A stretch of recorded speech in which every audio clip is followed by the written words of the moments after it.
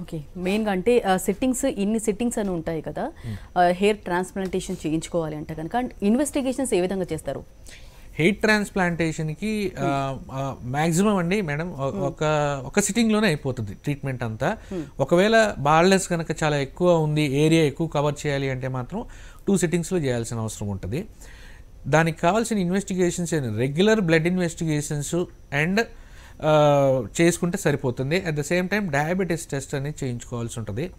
Sugar levels మరీ ఎక్కువగా ఉంటే మాత్రము కొంత డిలే చేసి ట్రీట్మెంట్ చేస్తాము. At the same time regular routine blood investigations are more than enough for doing surgery and one more thing మనం ఇప్పుడు మీరు అంటున్నట్టుగా ఇన్వెస్టిగేషన్స్ ఎప్పుడైనా మనం ఎక్కువ ఇన్వెస్టిగేషన్స్ ఎప్పుడు చేయిస్తామంటే when we are going for a big surgery but hair transplantation already నేను చెప్పున్నా కాబట్టి it's not at all a big surgery. It is a small surgery local అని చేస్తారు కాబట్టి normal blood investigations and sugar investigations చేయించుకుంటే సరిపోతుంది.